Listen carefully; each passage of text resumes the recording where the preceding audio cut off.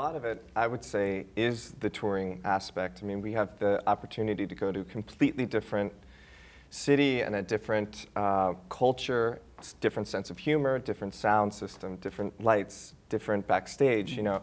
So in that sense, every time we go to a new city, it is opening night and it, it is fresh. I mean, that's a given. Um, we drink a lot of coffee. uh, Is it coffee you're drinking now?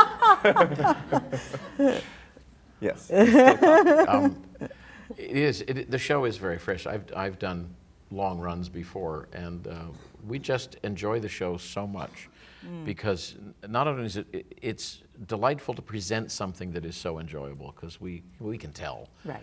Um, and uh, it just energizes us. And I have to give uh, a lot of credit to Rachel York, who is our star. She is, um, she's eight shows a week. She does 100% of what she sets out to do, never backs off an inch. And uh, she really inspires us all to, That's great. to give everything we have. Because if she can do it eight shows a week, certainly we can. Right. Any, anything you'd like to add? Absolutely. I think something that keeps it fresh for me that's becoming more and more rare, unfortunately, is the size of the orchestra that we have in every city. We have, I mean, this music by Cole Porter, it needs this Yes. size orchestra, and it's more and more often now. You're seeing pits that are smaller and smaller Right. and smaller. And while we, we only travel with drums and our conductor and a pianist, but we get an amazing, you know, horn section, and Mm-hmm. it's, I mean, phenomenal every night to just hear the overture in each city. It's What do we have in so the pit? exciting. 16? I think 16. I think we have Yeah. 16, Yeah. 18 in the pit. Yeah.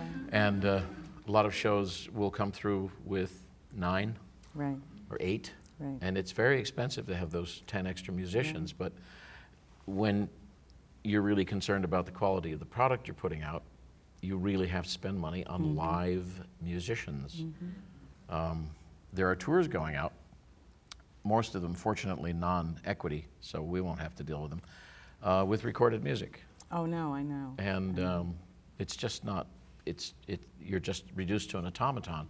Because in our show we have jay alger our music director and conductor in the pit and he's breathing with the show. The show's different every night. The show's alive in a different way every night because of the rhythms that the audience brings in. And uh, we can breathe with jay and the phrasing changes subtly and the microdynamics change. And uh, we have a living counterpart Right, uh, connecting us to the to the music. Uh, makes all the difference. We could not have had a show of this quality without the band we have. Mm-hmm. Mm-hmm.